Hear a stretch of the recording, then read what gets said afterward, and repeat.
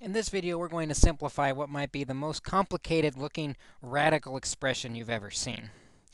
What we want to simplify in this radical is basically everything we can, but one thing that stands out about it is we can't have radicals in the denominator of a fraction. It's not allowed. It's bad practice. And so, to clear it, because we see that subtraction in there, we can't just multiply by the square root of 3x.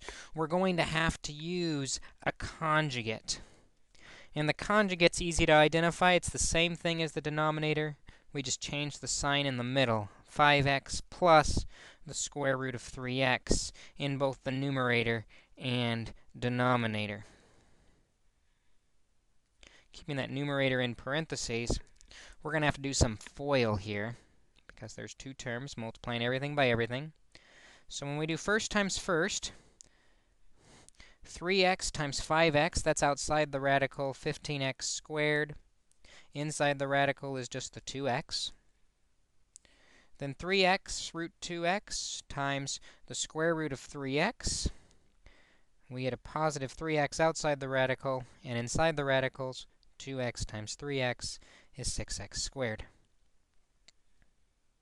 Now take the root 4x cubed through times 5x. The 5x is outside. The 4x cubed is inside, so we'll leave them as such. And then 4x cubed times 3x under the radical is 12x to the fourth all over the denominator's a bit nicer because the denominator's made up of conjugates, so we only have to multiply the first and the last pairs together. 5x times 5x is 25x squared. We've got two 3's under a radical, negative, because negative times a positive is a negative. Two 3's under a radical pulls a 3 out. Two x's under a radical pulls an x out. No radical left in the denominator. 25x squared minus 3x. The only thing left to do is simplify what we can inside these radicals. 2 and x, nothing can come out. 6 is just 2 times 3, so nothing's going to come out of that. But the x squared, we can divide that exponent by the index. 2 divided by 2 pulls 1x out, leaving none behind. Don't want to, I'm going to erase that index so we don't accidentally think that's squared. 4 is 2 times 2, so we have a pair of 2's that can come out of that radical. Also, the x cubed, when we divide 3 by 2, we get 2 remainder 1. That means an 1, I'm sorry, 3 divided by 2 is 1 remainder 1. So 1x comes out, and 1x is going to remain inside. Let's catch up with what we have before we move on to the last radical.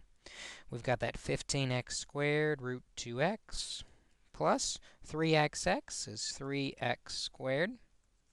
Square root of 6, the x's are gone, plus 2 times 5 is 10.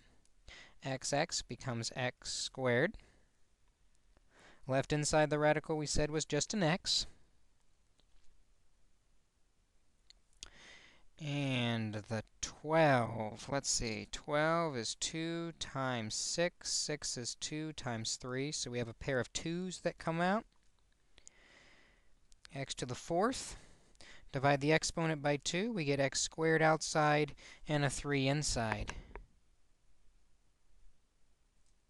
So we end up with 15 x squared, square root of 2x, plus 3x squared square root of 6 plus 10x squared square root of x plus 2x squared square root of 3 all over the 25x squared minus 3x. But we're not done yet because we can still simplify the fraction by factoring out a GCF. In the numerator, there's a GCF of x, leaves behind, x, sorry, it's x squared.